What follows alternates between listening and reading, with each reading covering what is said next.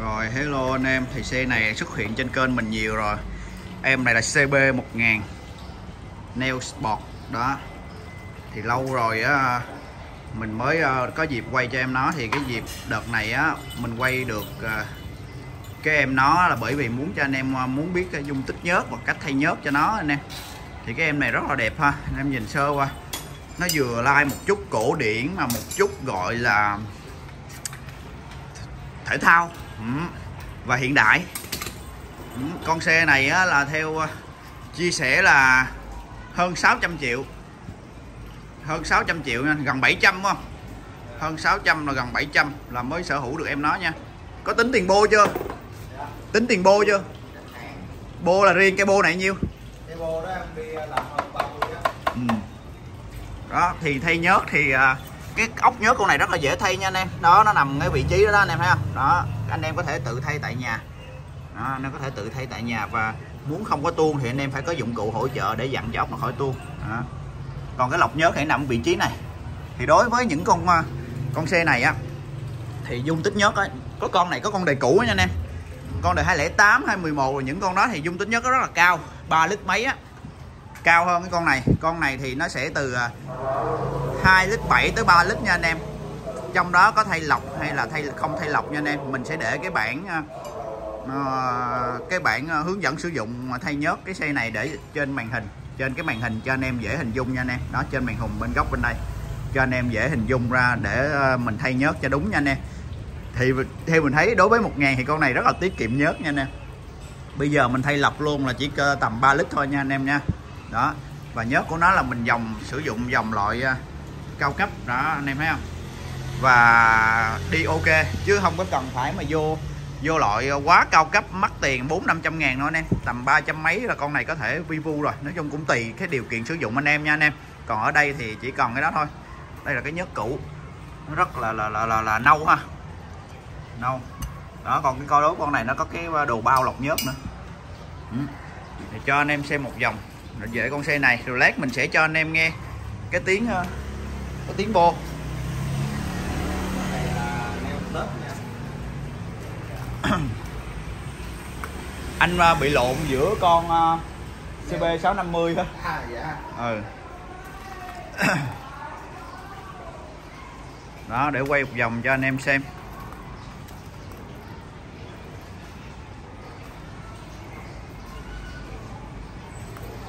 Cái uh, bát biển số này là anh em biết giống con gì không? Đó là con MT09 anh em. Đó, MT09. Và mình vẫn có một cái em CB 650 luôn để cho anh em xem. Đó đây là con CB 650 à, mình lên cái đuôi. Cái đuôi này là chính xác là của MT09 luôn anh em. Nó rất là mắc 7 tới 8 triệu. Đó rất là mắc. Đó đây. Ở ngoài thì theo ờ, đánh giá của mình giữa em CB 1000 này với lại CB 650 thì em này bự hơn nhiều nha. Bự hơn và cao hơn rất là nhiều. Bự hơn và cao hơn rất là nhiều, chứ không có giống đâu nha anh em nha. Nó bự hơn, nó hầm hố hơn, cái cục máy nó đẹp hơn rất là nhiều.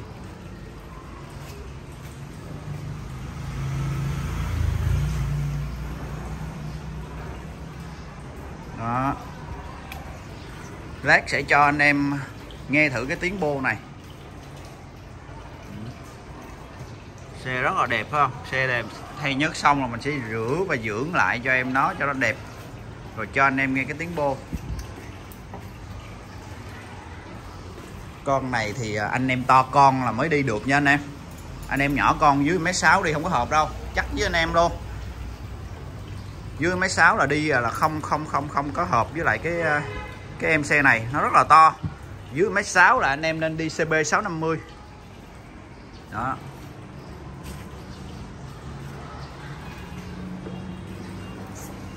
Cụm đèn nè cụm đèn led thì nó giống nhìn nó sẽ giống như CB 650 với lại CB 300 vậy đó nè.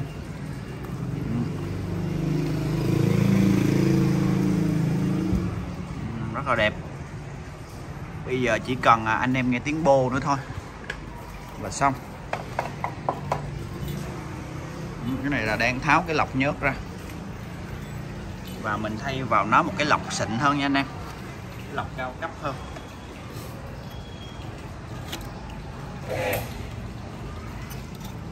Đây là cái lọc cao cấp hơn của ờ, so với cái lọc mà mình vừa thay mới nãy. Đó.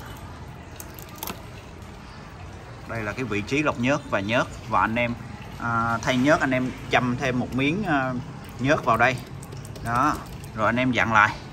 Dặn lại khi dặn thì anh em phải sử dụng à, cảo. Cảo thì có nhiều loại cảo nha anh em. Cái cảo này là cảo phổ thông nhất nè. Đó. Đó thì anh em à, chiết siết lọc lại. Rồi anh em đổ 3 lít nhớt vô thôi. Nhớt á thì anh em đổ dư khoảng một xị. Thì không sao. Nhưng anh em đổ thiếu thì có sao nha anh em. Đổ thiếu thì nó ghi máy lắm, nó gần máy lắm. nói chung là nó sót lắm. Nhìn cái xe nó sót lắm. Mấy cái điểm này nè nó hơi ọt ẹp xíu nha anh em.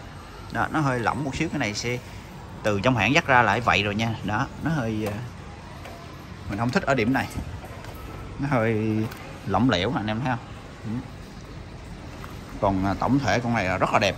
Rồi, thì bây giờ mình sẽ thay và đổ nhớt vô để cho anh em nghe tiếng bô. Đó, đây là cụm đồng hồ của em đó.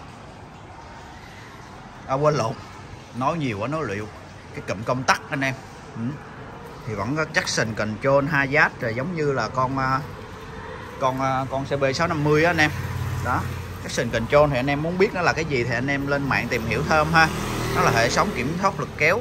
Đó. Công tắc.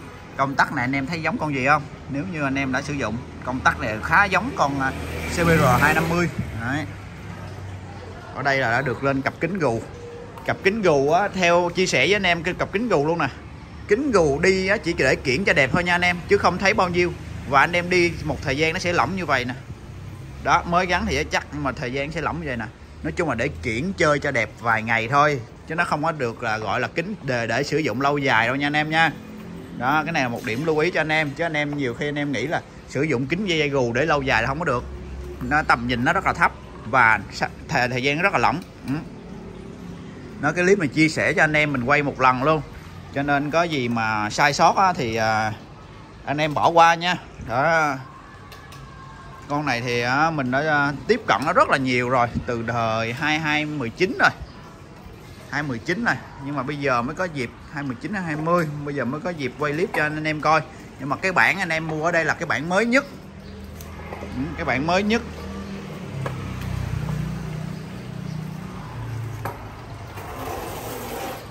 Còn à, nhiều anh em hỏi cái nhất cũ này sẽ xử lý như sao? Thì cái nhất cũ này á à, sẽ xử lý như thế này đổ vào thùng. Và bán cho mấy người mua nhớt á người ta mua tầm à, hai ba ngàn năm ngàn lít tùy theo cái ờ, cái cái thời giá anh em. Người ta mua về ta làm cái gì thì mình không biết. Nhưng mà không có được đổ những cái này ra cái môi trường nha anh em. Nó rất là ô nhiễm. Cho nên mình phải đóng thùng và mình bán lại cho mấy người thu gom nhớt thải. Đó thì bây giờ bên mình sẽ tiến hành thay nhớt cho em nó. Rồi đổ nhớt vô thôi rồi. Đó mình dặn cái lọc vào. Đó siết cái lọc vào. Siết đủ lực nha anh em siết đủ lực nha. Rồi thì cái con này á là cái con bản mới nhất và cái con này nó có 3 phiên bản nha anh em. Đó à, neo sport neo sport plus và cái bản đặc biệt bản bản đặc biệt là cái bản à, bản mỹ cái bản đó. Anh em nên tham khảo nha.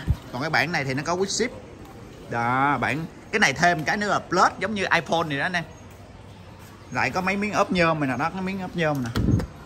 Miếng nhôm nè đó rồi thôi vậy thôi đó anh em. Là nó thêm plus đó.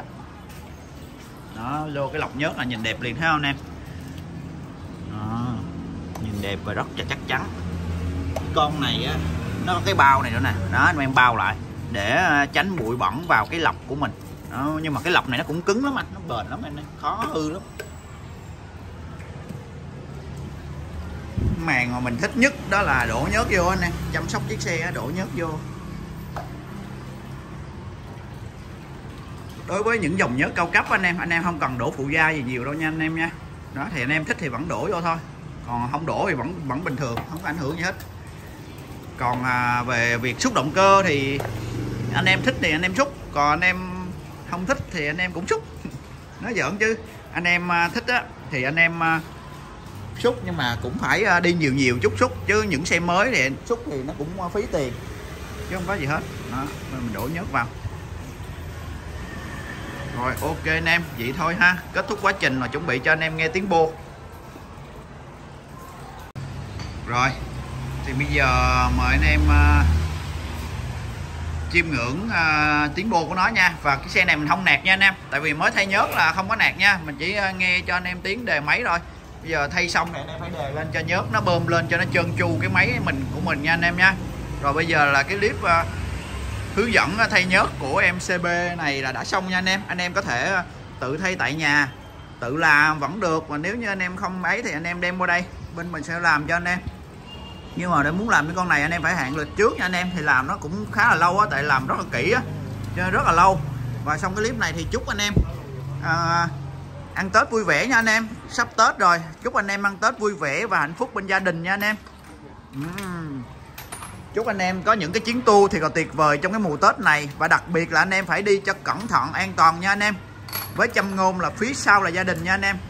Đó, chậm một chút cũng được nha anh em. Mình đi phân khối lớn, mùa tết này xe rất là đông đen. Đó. anh em đi cẩn thận, đi an toàn, nhiều sức khỏe nha anh em. Và mùa tết này à, chúc anh em à, luôn luôn hạnh phúc bên gia đình nha đó. Rồi, còn cái hũ nữa nè, dẹp luôn nè, cho gọn gàng sạch sẽ nè. Bi. Đó, mình làm tới đâu thì mình chỉ tụi à, tụi em mình nó nó dẹp tới đó. Cho nó sạch sẽ. Và mỗi lần à, mình phục vụ chỉ là một chiếc thôi, tập trung làm một chiếc xong mới tới chiếc khác nha anh em. Đó, những em này đang chờ để theo chủ ăn tết nè. Đó, những em đây đang chờ nè. Rồi, đề máy em. Cho anh em chiêm nghiệm cái tiếng bô bộ đồ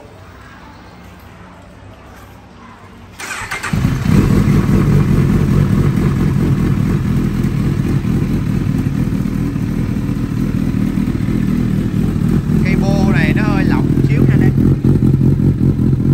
Thấy không? Nó hơi lỏng một xíu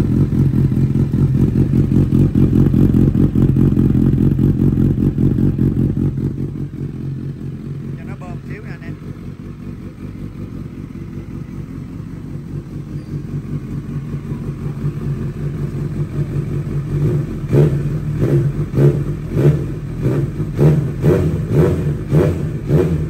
Đó, cho anh em nghe tiếng nhẹ nhẹ đó.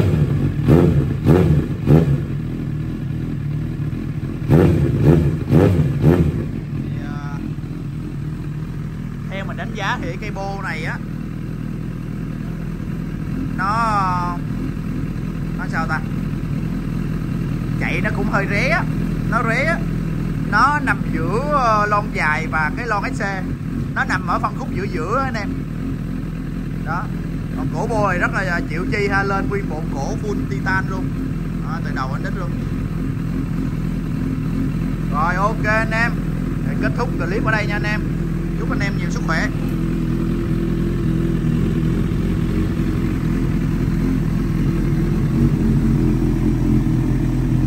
rồi bây giờ mình sẽ ờ, tiến hành rửa xe, vệ sinh. Vệ sinh ờ, hết chiếc xe rồi ờ, thôi là xong. Hết clip.